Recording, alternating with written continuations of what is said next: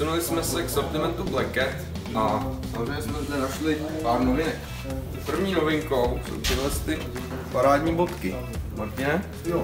To se mi taky líbí. Uh, tohle to jsou novi, je to novinka pantofle Cat Clogs uh, od Black Catu. Uh, jsou sportovního vzhledu, uh, vzdušní, rychle usknou. Uh, myslím si, že jsou i za přijatelnou cenu a veliko, velikosti jsou od 40 do 45, hmm. takže to je dobrý to uchycení, když pak... Paty, aby se ti nevyzvali, přesně tak, jo. Hmm? Takže to je další z parádních novinek od firmy Black Cat. Samozřejmě se na ně můžete těšit na naší prodejně, najdete ji na e-shopu během následujících pár dní.